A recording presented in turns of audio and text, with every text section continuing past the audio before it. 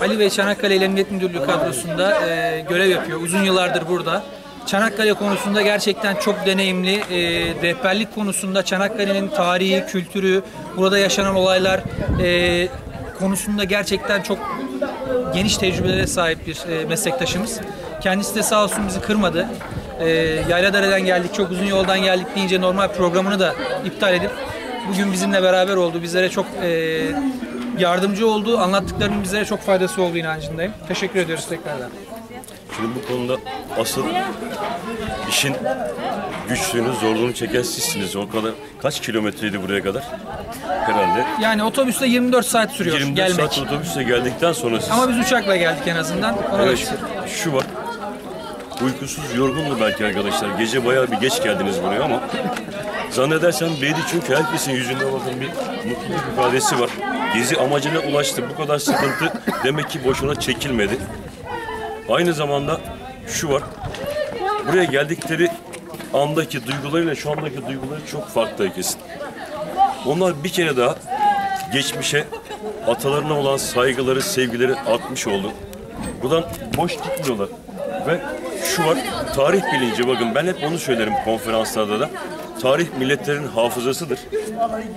Hafıza hatırlamayı sağlar. Biz bir çağrışım yaptık bugün. Hafızamız bizi geriye götürdü. 99 sene öncesine götürdü. Ama şimdi hafızasını kaybetmiş bir insan düşünün. Şekilsiz, boş her şey, manasız. Bugün nereleri gezdik efendim? Bugün nereleri gezdik? Başta Önce gün boyu bir 57. özetlersek. önce Kırmızı Sırt'ta lağım tünellerini ve orijinal siperleri gördük. Onun akabinde 57. alay şehitliğine, oradan Cesaret Tepe'de Arıburnu yarlarını ve Anzak Koyunu tepeden kuş bakışı gördük. Sonra Conkbayır'a çıktık. Conkbayır'dan sonra da Güney cephesine geldik. Önce bir Morto Koyun'da yemek yedik Şehitler Abidesi'nin altında. Ondan sonra Şehitler Abidesi'ni gezdik. Daha sonra bir müze gezdik. Sargıyeri, Şahinleri Sargıyeri'nden sonra da Seyit Onbaşı'da gün ancak bu kadar yetti bakın.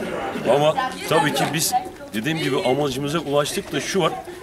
Bir kere tarihini bilmeyen milletlerin sınırlarını hep başkaları çizmiş derim ben. Ama tarihini bilen milletler yere daha sağlam basar.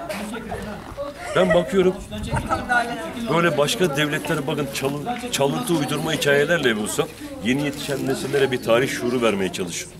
Biz ne yapıyoruz? Kendi elimize kötülüyoruz atalarımızı, dedelerimizi. Tam tersine böyle olunca da okullardan mezun olanların bir kısmı kendi milletlerinin düşmanı, düşmanlarının da dostu olarak mezun oluyorlar. Ama bugün onlar hali tavrıyla gördünüz. Ne gördük?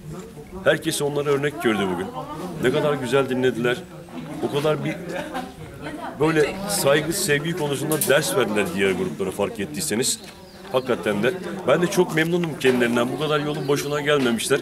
Siz de iyi ki bu kadar zahmete katlanmışsınız ki sonunda böyle güzel bir ziyaret çıktı ortaya ki İnşallah o şehitler de bu ziyaretten memnun kalmışlardır. Bundan hiç şüphem yok. Tekrardan teşekkür çok sağ olun. ediyoruz. Ben teşekkür ediyorum. Hakkınız yok. Varsa siz helal. Biz Benim çok teşekkür ediyoruz. Çok sağ olun. Birikimlerinizi bizimle paylaştınız. Bugün sizden çok şey öğrendik. Estağfurullah. 1915'lere gittik. Tarihi yeniden yaşadık. O da- Basın olarak çok teşekkür ediyoruz Çok efendim. teşekkür ederim ben de. O da niyetinizin güzelliği. Gezi aksetti zaten ziyareti. Çok sağ olun.